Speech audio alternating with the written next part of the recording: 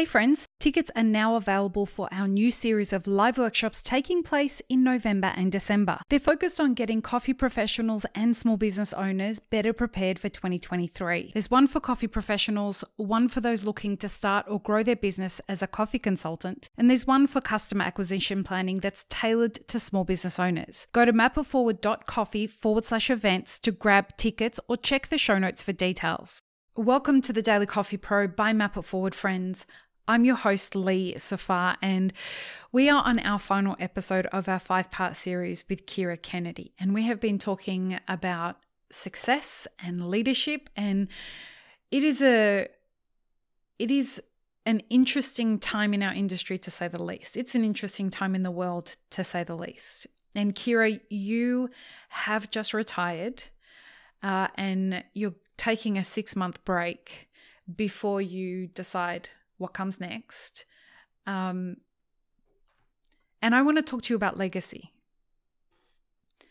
I want to talk about the idea that being in a pivotal time in our industry and in our world where we don't know how we move beyond things like quiet quitting and the great resignation and all of those kinds of things. I feel like an important part of understanding perhaps some solutions to that is to understand what kind of legacy we want to be able to look back on.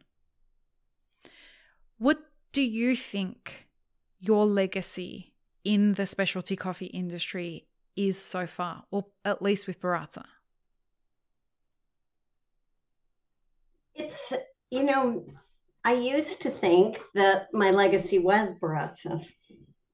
And mm. um, and it was, as many people know, it was a hard decision for me to decide to sell Baratza, although I know it was the right decision and that Breville was a great company to sell to. And as I went through the two year the last two years working with Breville, I I learned so much. I uh, it was a PhD in integration. It was also a, an incredible way to look at business from a different mm. point of view, from a company that is a billion plus dollar company versus a much smaller company. And I understood how strategy and culture and tech platforms and all those kinds of things come together to help build a company's culture and their brand. And I, I never really understood strategy until I realized that Baratza had designed incredible strategies for being a small company that was selling to small retailers mm-hmm. and that everything about our business was designed perfectly to do that. And it was very fun to to see and learn that.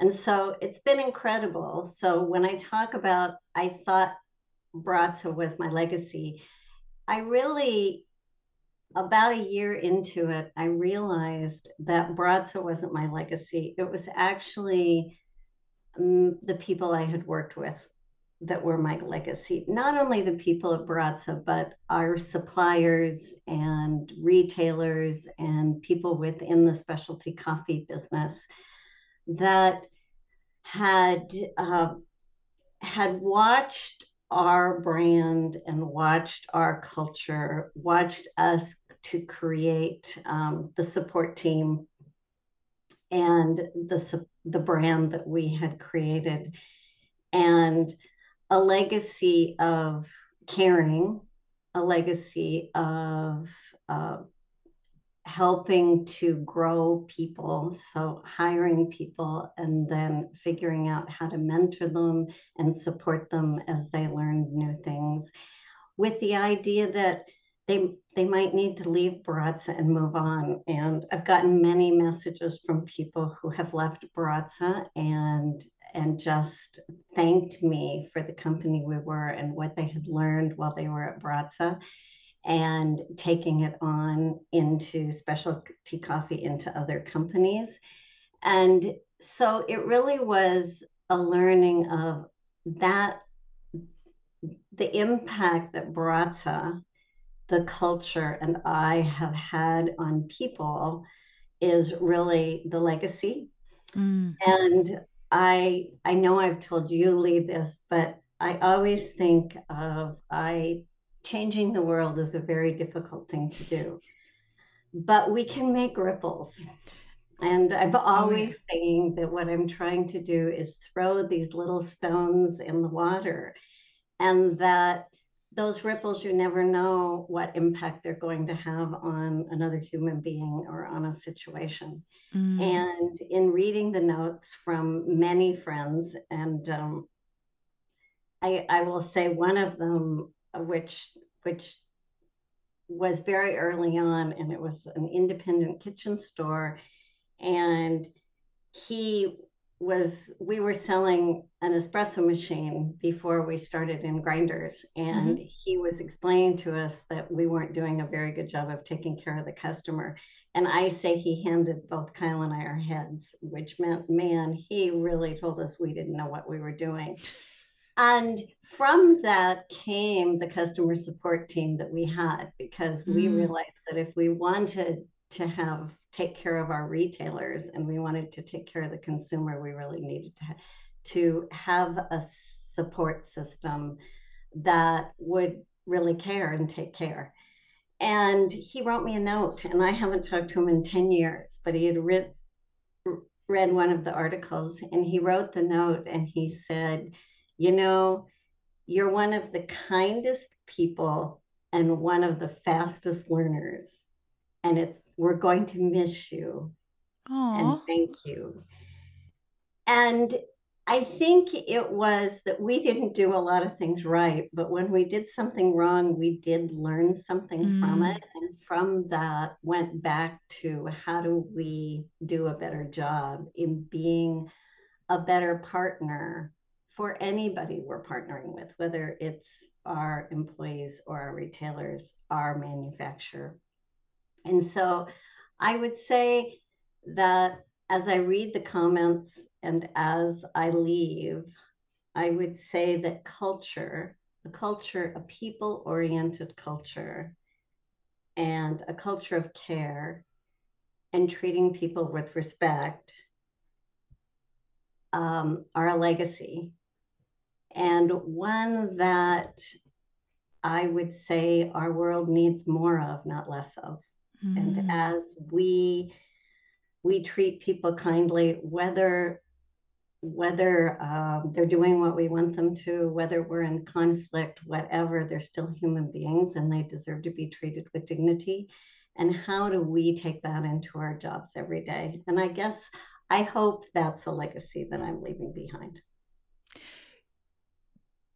Did you, as a leader, set out to have that kind of a legacy? Or did you just build? And that's the legacy that you have left at Baratza as a result of that. Oh, I don't think I ever thought of a legacy like that. I really just put one step in front of the other and realized that the world works a lot better when people are working to help you be successful and that a lot of people help me be successful. And I would say part of that is because I asked for a lot of help and I was honest about the mistakes I was making. And I was thankful and kind about it. And so uh, I think in, I really am optimistic about people because in general i think people like helping other people. They like helping other people be successful. And together i think we can solve a lot of the problems that we have. And i think that uh, i think it's leaders like you that give me well i know for a fact that it's leaders like you and in particularly you as a leader that gives me hope that if we do come together through this phase that our industry and our world is experiencing right now, And we do lean into this very challenging time with quiet quitting and great resignations and all those kinds of things that are going on. We will come out the other end having a solution that works for many. It may not be one solution, it may be 55 different solutions. But I think if we have an intention of creating a legacy as an industry, those people who are leading in the industry right now, if we can focus on a legacy that says, hey, we solved these problems. And we did it with uh, empathy and we did it with uh, intention and we did it without having to trick people and we did it with a knowing that these are problems that exist have existed for these are problems that have existed for a few generations in our industry, and we don't want to have to, to let the next generation be responsible for fixing that. We we want the ripple effects to start with us. Yes. Each one of us. Each one of us. Because this isn't one of those problems that's going to be easy. Like, this is one of those problems where each of us have to dig down and say, what am I responsible for? Like, what am I bringing to this problem? Right. And, and what if, am I causing? Yeah. Because we definitely cause our own problems, and uh, and I'm I'm excited to see all the people that are working to solve these problems, and um, and it's exciting, right?